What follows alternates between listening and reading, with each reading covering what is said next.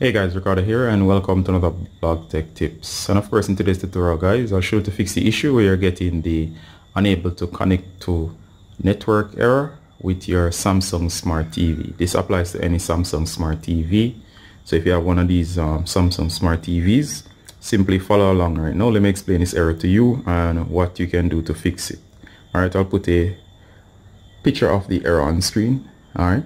Alright, so first of all, if you're having this error guys with your smart TV, um, you need to know that um, the reason why you're getting this error is because the TV is unable to communicate with your um, internet. So if you're using a wireless or a wired connection, simply saying that it's unable to browse because it has no internet connection. Now, um, in most cases, I've found that this error can pop up at random and it's as a result of either your um, wireless internet provider they basically have just temporarily disconnected from the internet.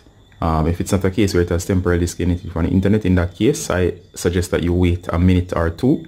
And of course, if that doesn't work and you're still unable to browse or the error doesn't stop, especially if you're trying to connect to YouTube or whatever, um, I suggest that you go ahead and turn your TV on and off. So simply get your remote, power off the TV, power it back on. Sometimes the TV simply needs to power cycle, it's just getting an error as it wasn't browsing internet and by doing this it should refresh the TV so if you pull off the TV and try again and it's still there um, next I suggest that you go ahead and um, check the cables that run to your TV or check your wireless um, connection to make sure that your TV is actually connected to a functioning um, network. Also try to use a device that's currently currently connected to your um, router and check to see if it's browsing. If it's browsing your TV should browse as well um, as I said again, that doesn't work guys. What always works for me eventually is to restart your uh, internet. So go ahead and do a refresh or restart of your internet. Simply unplug it from the wall and plug it back in.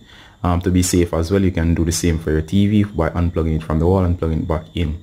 If you do all of those, and of course there's um, internet on your router or you um, provided by your ISP, um, by turning that back on and checking the TV it should fix the issue. So most of the times it's either a cable that's loose or of course the wireless is out for a little bit or your ISP is having issues with the internet for a little while or for a good while. So check all of those things out.